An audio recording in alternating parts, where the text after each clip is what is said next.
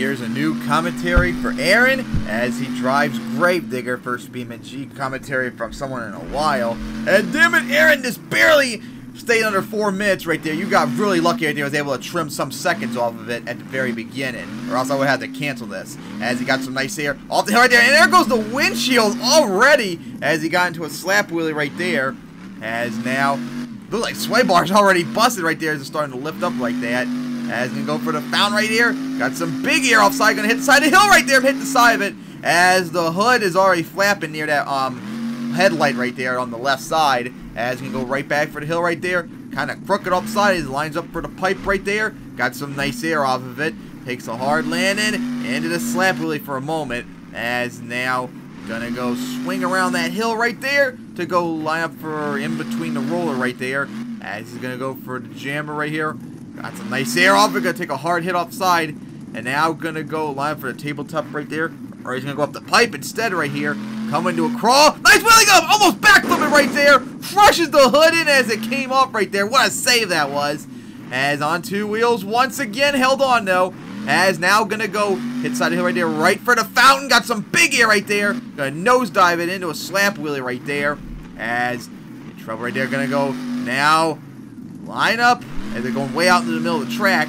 Right for the double. Nope. Gonna hit that roller instead. On two wheels right there. Almost on the rim. Saved it right there too. As having a difficult time keeping control looks like. Gonna hit the roller right there off the side. On two wheels right on the rim. And gonna get the save. Asugoi. As now gonna go line up for the hill right here. As gonna get some big air right there too. Takes a hard hit on two, one wheel there for a moment. As gonna line for the hill right here. As growing up it, nose dived it.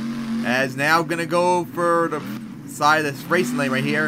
Up and over, got stuck, but managed to crawl over it too.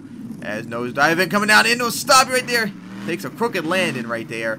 Now gonna go up the fountain off the side of it. Hits the side of it. Nose diving right there and held on for the save once again. As gonna go now. Hit the side of the hill right there.